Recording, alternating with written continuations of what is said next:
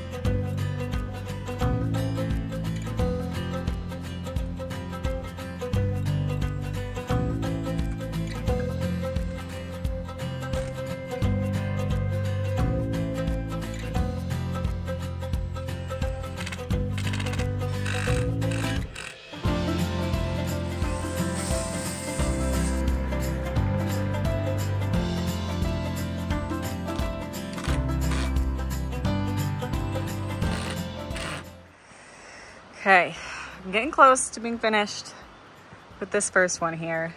This is by no means a how-to or tutorial because this is my first time building something like this, so I'm kind of slightly winging it.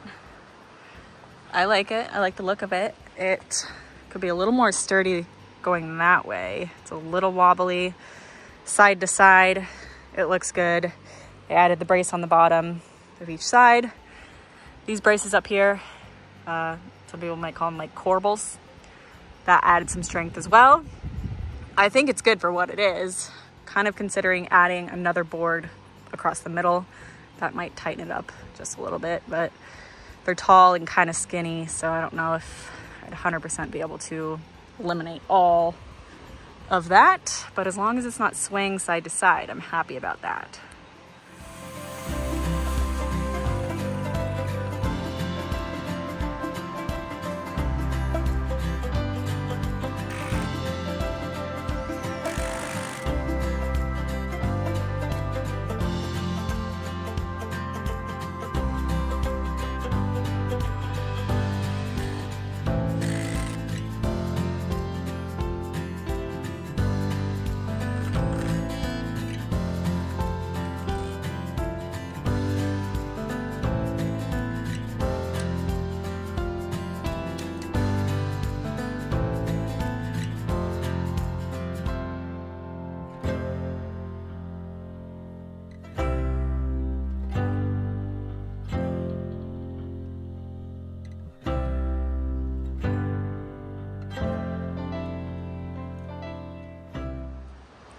I got my pea trellises all finished. I had read that peas can grow on average, certain kinds of peas can grow on average between six to eight feet. So I actually went with seven feet on the taller one and about like six, six and a half feet on the shorter one. Thought it would just look nice to kind of like stagger it, step it up a little bit. I'd rather go too tall than too short, but I think that it looks good. I think the chicken wire makes it look nice and tidy. Um, these guys will eventually grow nice and tall and strong. I don't really know what I was thinking when I planted this row right here. It's kind of just off in no man's land. It's in the middle. Um, it should it should be off to either this side or this side because it can't really super well reach either side. That's my fault, not really knowing what I was doing before I had these trellises up. I actually just planted another little succession in these empty spots um, with some more peas. We still have time up here in our growing season. So that's kind of cool. I like the look of this. I think that it turned out great. It looked fast in the video, but this actually took me quite a while. It should work. I'm excited to see how it does. If you ever feel like you need the perfect tool for smaller projects around your house, then the S1 Pro cordless screwdriver by Fanttik is going to be the perfect tool for you. The S1 Pro by Fanttik is a professional kit that offers some of the best steel bits for a variety of projects, both indoor and out. The tool comes equipped with 16 different bits suitable for accurate precision and narrow spaces. The screwdriver is built with a dual rotation feature and supports three gear torque control, along with a built-in LED light so you can work in dim spaces. The S1 Pro comes with a standard USB-C type charger so that you can have this on the go. You could keep it in your car, you could keep it in your house, but either way, you can always keep it charged. The practical and efficient magnet bit storage box ensures that all of the pieces of this screwdriver stay in one place so you don't have to go looking when you need it the most. To see for yourself just how awesome this tool is, click the link in the description box below and use our code to get 29% off the S1 Pro screwdriver by Fanttik. Thank you Fanttik for sponsoring today's video. I'm going to be trying something a bit different with my beans. Um, rather than like kind of a more permanent wooden structure, I'm going to be using T-posts and string. So we'll see how it goes. So the beans, same boat as the peas. They were ready to go up a while ago. got four T-posts here. It's gonna go, we're gonna do a line like right down the middle of the four rows. So one T-post on each side and then a board across the top of each one with strings going down so that these beans will just climb right up the strings.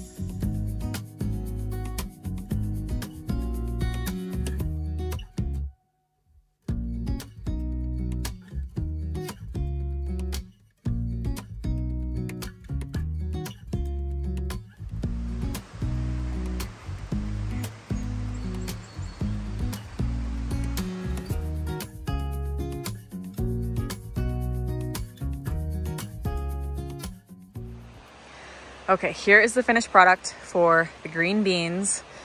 I've got the boards on the top and the bottom. The string just kind of wraps around. You know, I tied the boards to the T-posts using that string. It's pretty sturdy. You can see I kind of helped them along, start climbing up. I like it. I think it looks good. It was a lot quicker than building that one over there. And I still think that it looks good. All right, the string that I ended up using is like a jute cord and I fully anticipate that it's not going to make it until next spring. We have pretty harsh winters up here in North Idaho, so I imagine after like the wet and the freeze and the thaw, it's going to break.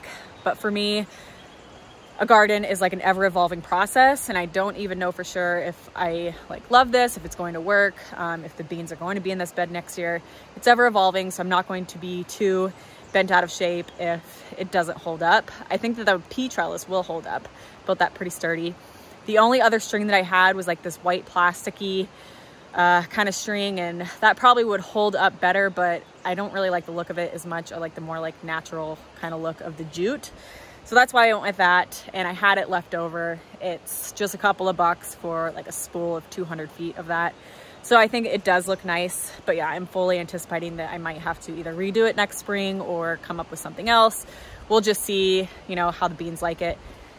If it's tall enough, we will just have to see. It's an ever evolving process.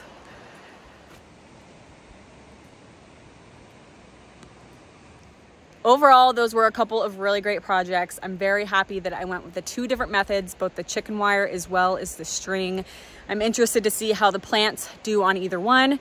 I know that a lot of people have used both of these methods. I found all that information online. You know, there's tons of ways to do it out there, but I hope that these ones work for me. If If you guys have made it this far in the video, I very much appreciate you watching. Um, maybe check back in August or so. Hopefully my trellises are completely full of plants. I appreciate you watching and we'll catch you in the next video.